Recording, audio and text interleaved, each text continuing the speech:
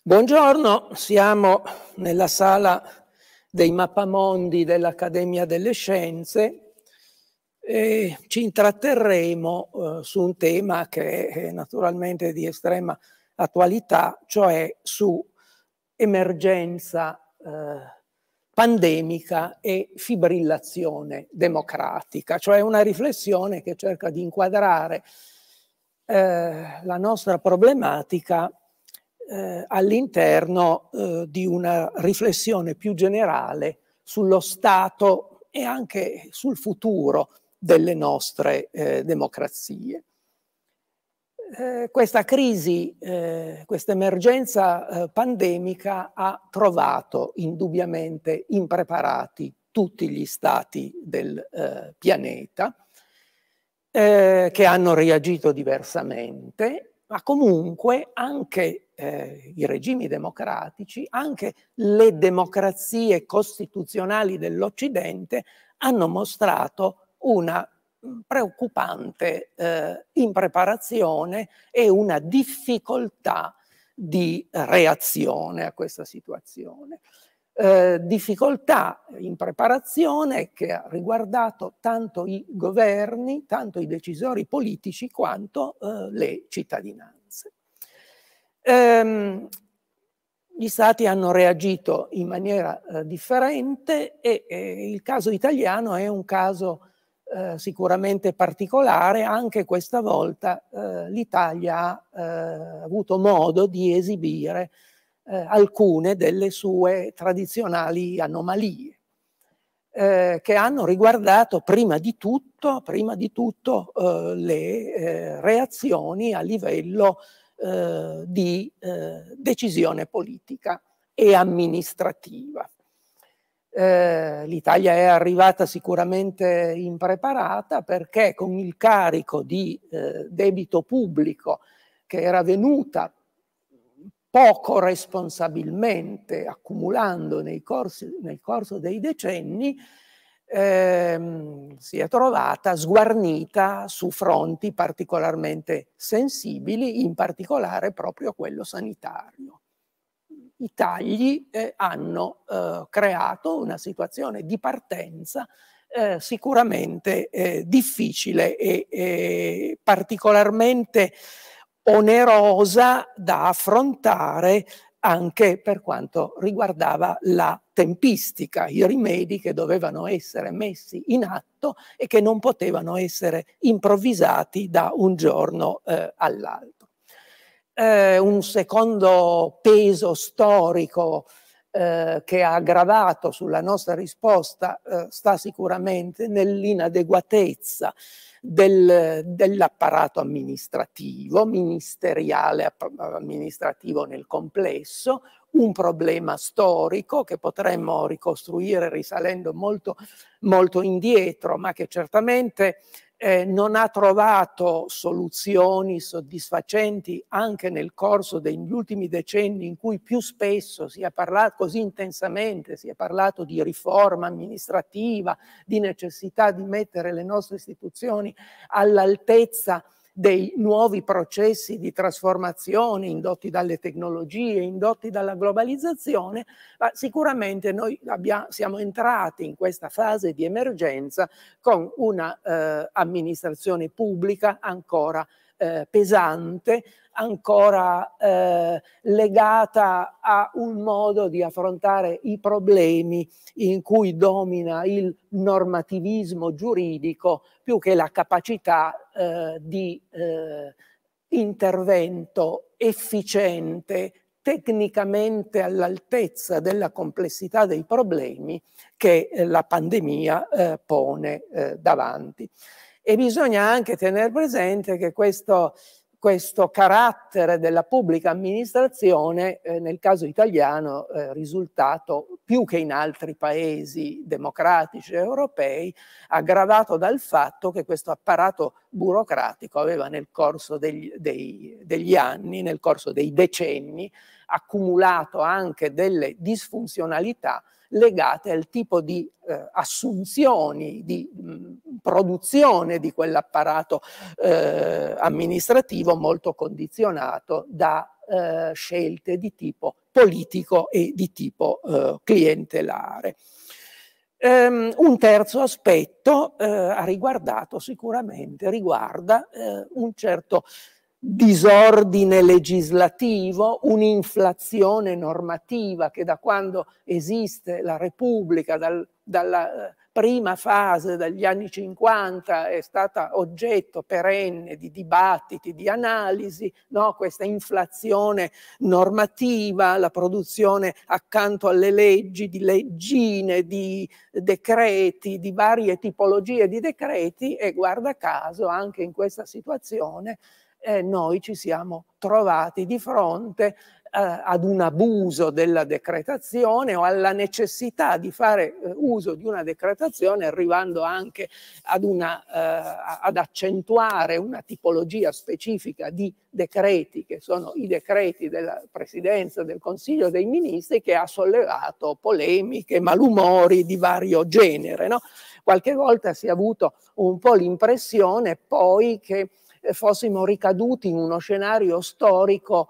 eh, che è eh, simile a quello dell'ellenismo antico, no? in cui i sovrani eh, emanavano delle misure di carattere generale che avevano validità per tutto il territorio del regno o ehm, eh, che venivano chiamati diagrammata e poi parallelamente eh, emanavano altri decreti appunto con eh, validità locale eh, che invece erano chiamati prostagmata. Ecco, noi ci siamo mossi di nuovo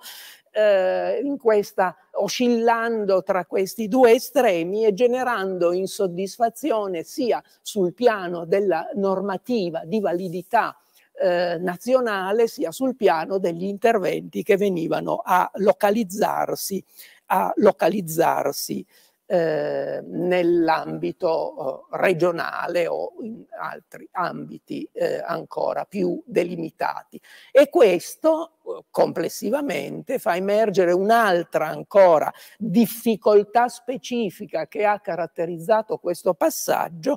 e cioè eh, l'emergere della disfunzionalità dell'assetto costituzionale italiano per quanto riguarda la ripartizione dei poteri e il coordinamento dei poteri tra il centro e la periferia, cioè tra il potere governativo centrale e, e, e le, eh, fondamentalmente e le regioni.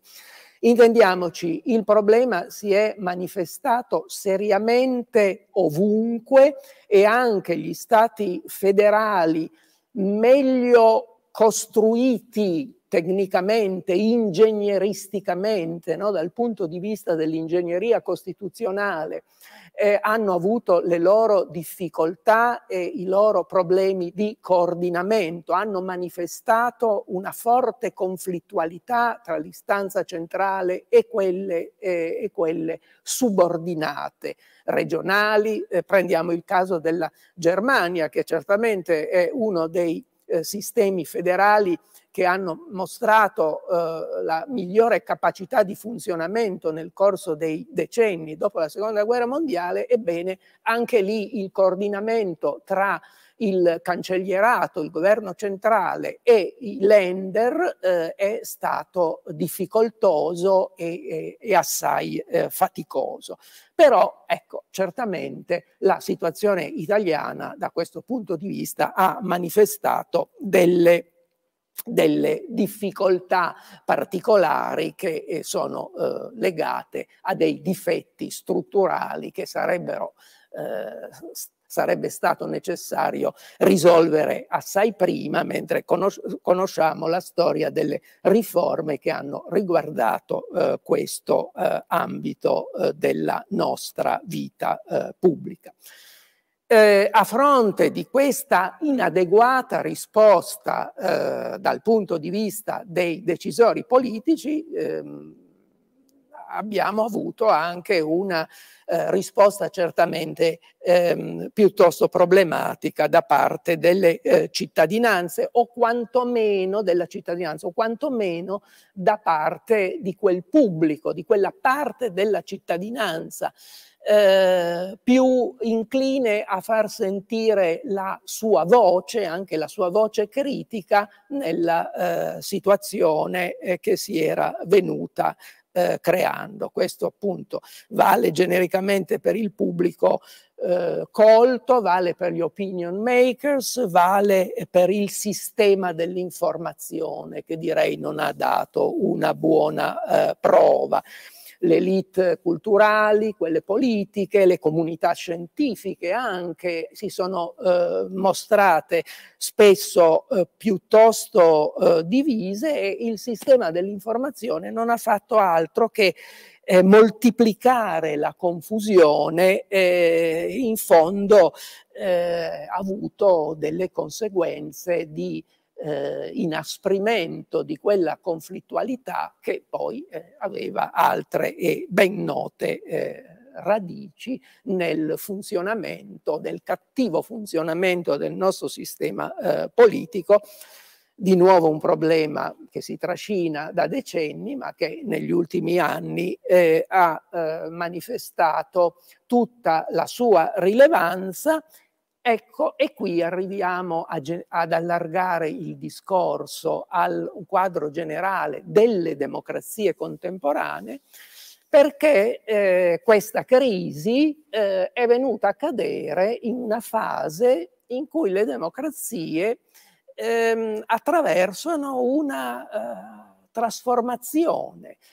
eh, quella trasformazione che eh, abbiamo ormai eh, abbondantemente studiato, analizzato nel corso degli ultimi anni, si direbbe che la scienza politica in questi anni non ha fatto altro che parlare di populismo. Ecco, la trasformazione delle democrazie contemporanee ha a che fare con eh, questo eh, fenomeno, un fenomeno che ehm, possiamo sintetizzare eh, intorno a, a, due elementi, rilevando due elementi. Da un lato il fatto che ehm, eh, la eh, involuzione populistica delle democrazie ha manifestato la sfiducia eh, diffusa delle cittadinanze nelle eh, istituzioni e dall'altra eh, ha manifestato soprattutto da parte delle eh, elite economiche e soprattutto politiche una insofferenza per la complessità. Ecco, direi sfiducia nelle istituzioni, eh, insofferenza per la complessità dei processi, eh, governativi, processi di gestione, come oggi si dice usando un termine un po' equivoco e molto abusato di governance, che non si capisce mai bene che cosa sia, fino a che punto sia eh, decisione pubblica e fino a che punto invece sia concertazione tra attori distribuiti in tutto il sistema eh, sociale e eh, inclini a agire in base a logiche che sono certamente differenti da quelle del sistema politico. Ecco, quindi qui eh, ci, dobbiamo focalizzare probabilmente la nostra analisi su due eh, concetti chiave che danno l'idea del, della profondità del problema. E questi concetti sono appunto eh, da un lato complessità e dall'altra eh, uno eh, gran, dei grandi indicatori eh, di questa insofferenza nei confronti delle eh, istituzioni, di sfiducia nei confronti delle istituzioni, eh, il tema del cosiddetto biopotere. Molto brevemente, ehm, una teoria importante, una teoria sociologica importante che ha eh, in qualche modo plasmato il dibattito nel corso degli ultimi decenni, la teoria dei sistemi, ha eh, insistito sul fatto che le società eh, complesse non si possono più governare vertici, verticisticamente a partire da un centro.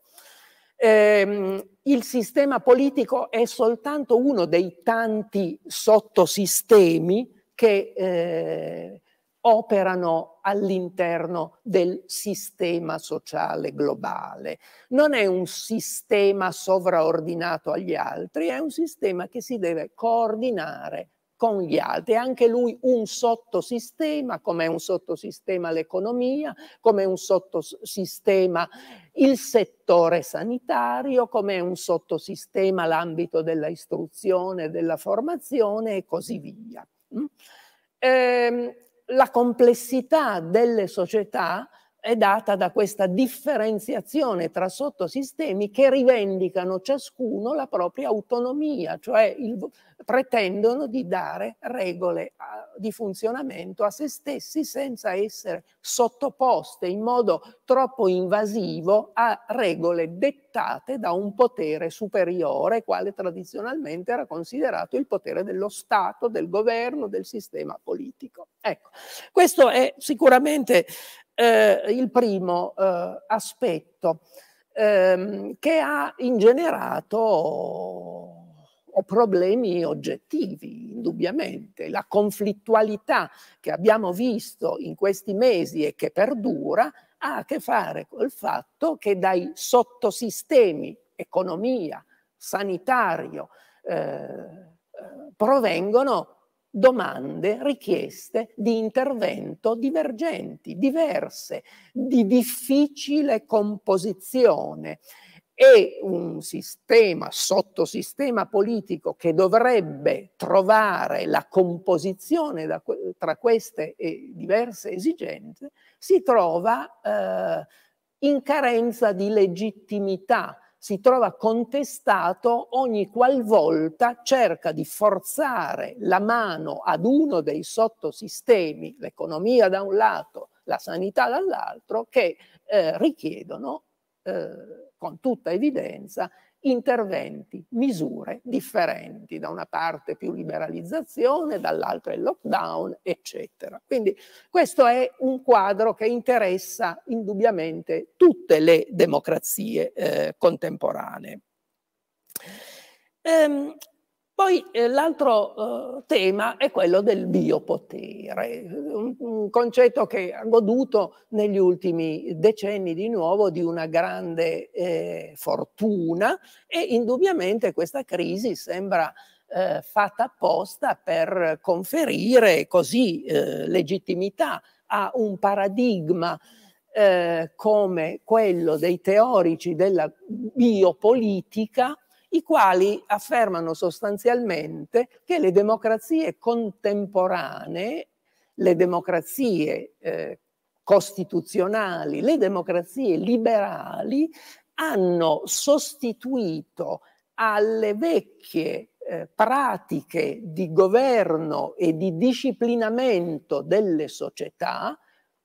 guidate, gestite, pilotate da un vertice, pilotate da un centro, hanno sostituito eh, pratiche diverse, eh, fondate sui saperi scientifici, pratiche più invasive ma al tempo stesso dolci, non eh, contundenti, apparentemente eh, non lesive della libertà, ma in realtà eh, interventi promozionali del benessere, che favoriscono il benessere dei cittadini,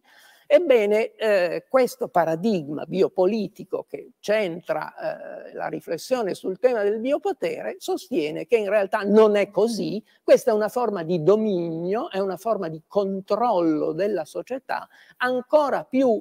eh, dispotica in fondo eh, che eh, quella che hanno esercitato le società, le democrazie eh, tradizionali. Ecco, richiamo questo aspetto perché è facile capire come certi sgangherati discorsi che abbiamo sentito nel corso di questi mesi e non solo in Italia, in tutte le democrazie occidentali, sulla dittatura sanitaria, sullo stato d'emergenza come stato d'eccezione che promuove automaticamente delle logiche e delle dinamiche autoritarie che violano sistematicamente i diritti fondamentali, ha qui eh, la sua radice in questa, in questa eh, diagnosi che eh, certamente, eh, anche se è stata prodotta in eh,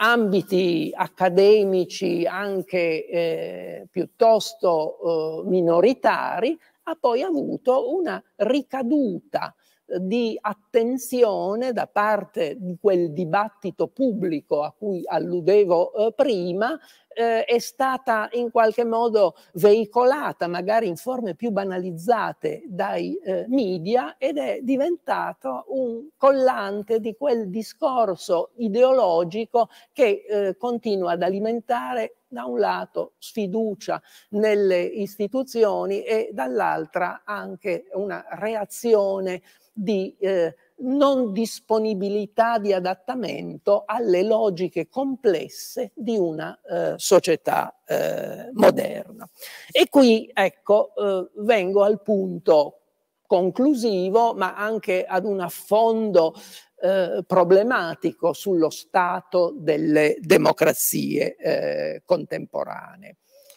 Um, noi um, ci siamo uh, ormai abituati a considerare la nostra età uh, democratica come età dei diritti. No? Ecco. Certamente uh, il tema dei diritti, i diritti dell'uomo in generale, i diritti delle cittadinanze è stato un grande vettore della crescita, della maturazione delle democrazie occidentali. Anche qui potremmo eh, fare una lunga eh, storia ed è innegabile l'importanza di questa eh, problematica. Eh, e tuttavia eh, noi abbiamo anche assistito eh, nel corso degli anni ad una ehm,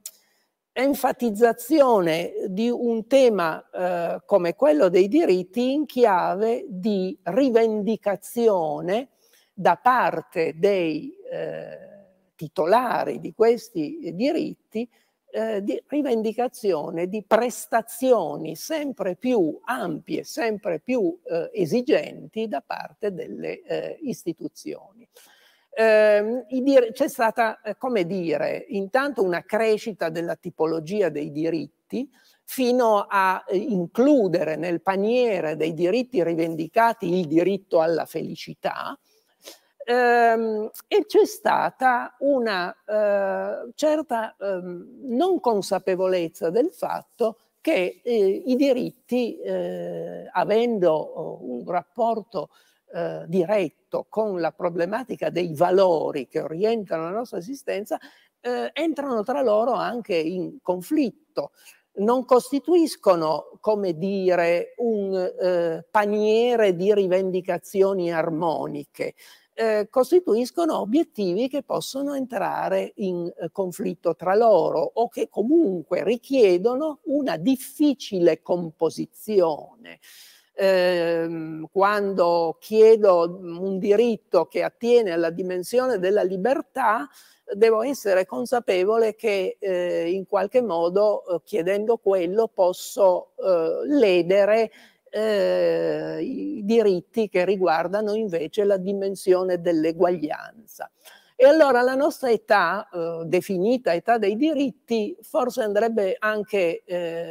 ridefinita una età sul eh, del conflitto sui diritti, un'età del conflitto sui diritti. E la situazione attuale, la pandemia, con quel eh, gioco eh, un po' al massacro tra la rivendicazione dei diritti di libertà e il, eh, il, dalla, da una parte e dall'altra la rivendicazione di un diritto alla salute o al diritto alla vita, ha manifestato di nuovo in modo eh, molto forte questa conflittualità che inerisce ai diritti e ha manifestato al tempo stesso eh, in modo eh, preoccupante anche eh, una certa tendenza che avevamo già dovuto registrare più volte con qualche allarme nel corso degli, degli, dei decenni precedenti, una certa tendenza a concepire questi eh, diritti come delle pretese insindacabili, a concepire questi diritti eh, come eh, pretese eh, alle quali eh, le istituzioni devono necessariamente dare risposte anche quando nella rivendicazione dei diritti eh, non si mostra alcuna consapevolezza del fatto che l'altra faccia dei diritti per ciascuno di noi che li rivendica sono i doveri. No? Ecco, diciamo la forbice diritti-doveri si è allargata mentre avrebbe dovuto essere eh, i, i, due aspetti do, avrebbero dovuto essere percepiti come le due facce della stessa, eh, della stessa eh, medaglia. Eh, si è parlato nei dibattiti di, di inflazione dei diritti, eh, io mi spingerei a, a, parlare addirittura di pleonexia dei diritti, di una spinta a eh, richiederne sempre di più, eh, sempre di nuovi, in modo sempre più illimitato, dimenticando che questi diritti sono sempre anche dei micropoteri e questi micropoteri necessariamente finiscono per collidere con i eh, poteri eh, degli altri. Ecco, eh, un nostro eh, grande politologo eh, Giovanni Sartori aveva già in un libro all'inizio degli anni 90, quando era avvenuta no, la grande svolta, si, chiede, si, diceva tutte le tutti i paesi del mondo sono diventati democrazie, le democrazie liberali hanno vinto e lui si chiedeva ma eh, queste eh, democrazie che hanno vinto la battaglia contro i totalitarismi saranno veramente in grado anche di vincere i loro problemi interni? Ebbene in questo libro ehm, in modo eh, molto forte, Sartori poneva già la questione di questi diritti che lui chiamava diritti spettanze, questi diritti pretesa che ingenerano anche un'estrema ambivalenza nel nostro rapporto con il, eh, il potere. In fondo dobbiamo ricordare che le ideologie della modernità sono state tutte ideologie critiche del potere, che hanno sempre guardato al potere come qualcosa di minaccioso e quindi ai governi come eh, poteri pericolosi, a cominciare dal liberalismo venendo, eh, venendo in avanti. E questo atteggiamento naturalmente nelle democrazie costituzionali ha trovato eh, espressione e diciamo anche sanzione costituzionale. E tuttavia, ecco l'altro aspetto della, della medaglia, eh, a questa sfiducia preventiva eh, nei confronti del potere, di qualsiasi sua mossa, di qualsiasi suo intervento nella vita sociale, si è accompagnata anche una crescente richiesta di prestazioni di intervento. Siamo insofferenti nei confronti del paternalismo, ma poi vogliamo lo Stato padre, madre, lo Stato provvidenza, come alcuni sociologi hanno, hanno detto eh, rifiutiamo le ingerenze del potere eh, nella eh, nostra vita, denunciandolo addirittura come biopotere o come biopolitica e poi però eh, chiediamo l'intervento dello Stato distributore. Adesso potremmo eh, parlare dello eh, Stato risarcitore, eh, dello Stato eh, che eh, provvede a eh, riparare i danni che una situazione pandemica con le sue ricadute economiche ha generato nel tessuto della eh, società. Ecco, questa ambivalenza eh, del nostro rapporto con il potere è certamente un grande problema che eh, attiene al stato delle democrazie contemporanee. E allora, per concludere, ehm, probabilmente eh, è a questo punto necessario un ripensamento anche dell'equilibrio tra quelle due componenti che si sono eh, messe in luce eh, nel discorso democratico costituzionale di questi ultimi decenni che costituiscono diciamo l'ossatura delle nostre democrazie. Quali sono queste due componenti? Quella che è stata chiamata istituzioni di garanzia e quella che è stata chiamata istituzioni di governo. Le nostre democrazie costituzionali sono fatte, poggiano su queste due gambe, le istituzioni di garanzia, che certamente sono, riguardano la garanzia dei diritti fondamentali, ma dall'altra le istituzioni di governo, che riguardano invece la macchina eh, del eh, governo, il funzionamento delle istituzioni e che tiene questa dimensione principalmente alla eh, effettività del potere, alla sua efficacia, alla sua capacità di affrontare e risolvere i problemi, certamente ingenerando eh, processi eh, che intervengono sulla vita dei cittadini, che intervengono sulla vita di tutti noi, rimodulando i rapporti eh, tra eh, diritti eh, e intervenendo sulla fruizione di determinati diritti in relazione alle circostanze che si vengono a verificare. Una situazione d'emergenza eh, è certamente ragionevole che eh, alle istituzioni di governo siano consentite misure che in qualche modo limitano dei diritti eh, del eh, cittadino. Per quanto riguarda la dimensione della privacy, pensiamo a tutte le problematiche de delle app e, e dall'altra eh, limitano magari anche eh, il dato, la libertà originaria, quella che per Hobbes era la libertà prima eh, di, un, eh, di un cittadino, di un suddito per lui che era libertà di movimento. Ecco, noi siamo di fronte certamente a degli interventi che intervengono proprio su questa falda originaria della libertà, su questa dimensione originaria della libertà. Una, eh, intervento però che eh, è, è dettato dalle circostanze, reso necessario dalle circostanze e rispetto al quale quindi eh, dobbiamo sviluppare una adeguata consapevolezza.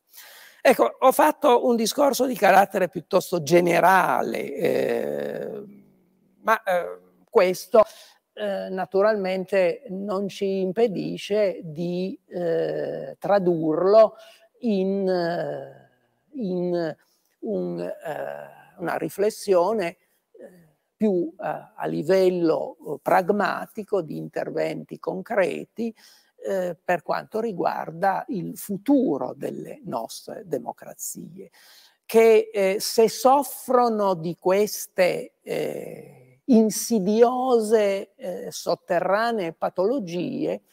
indubbiamente eh, richiedono degli interventi di ingegneria costituzionale anche piuttosto sofisticati, diciamo pure molto delicati, perché si è tutti consapevoli del fatto che l'intervento eh, sul panel dei diritti fondamentali riconosciuti dalle Costituzioni è qualcosa che eh, può albergare grandissimi rischi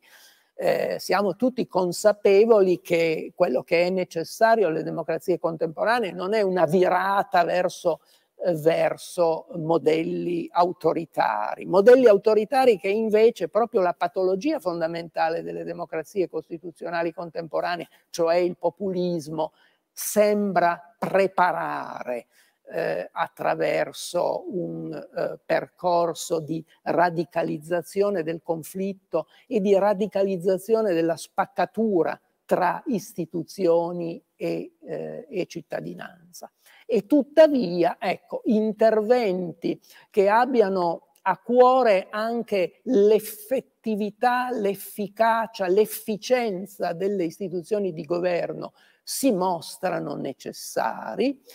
e eh, fra questi certamente uno degli ambiti che richiede un eh, adeguato eh, ripensamento è quello della distribuzione dei poteri tra i centri decisionali dei sistemi politici e, le, eh, e i poteri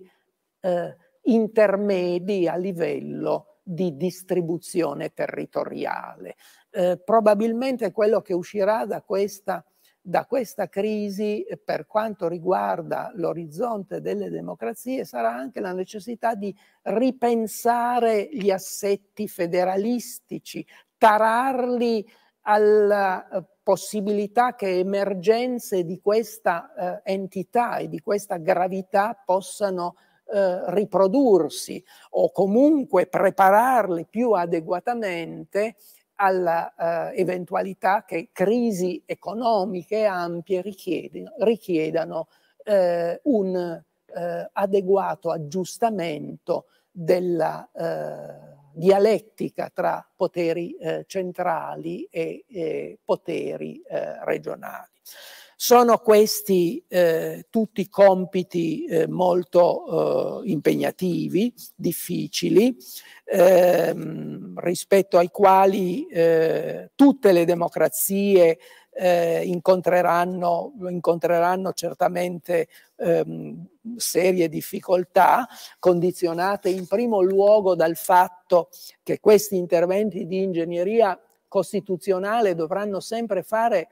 eh, prioritariamente, preliminarmente i conti anche con la necessità di ripensare le politiche economiche, eh, del rivedere in qualche modo le modalità di eh, bilanciamento tra la sfera pubblica e la sfera privata. No? Abbiamo assistito in questi mesi ad uno ad uno shifting dal, dalla centralità del, del mercato, dell'ambito privato, al ritorno anche in modo eh, molto importante del pubblico, dello Stato a sostegno dell'economia. E quindi anche qui si tratterà di eh, trovare soluzioni innovative, non semplicemente un ritorno al passato a, a più statalismo indifferenziato, ma soluzioni innovative che consentano poi che anche gli altri interventi di redistribuzione del potere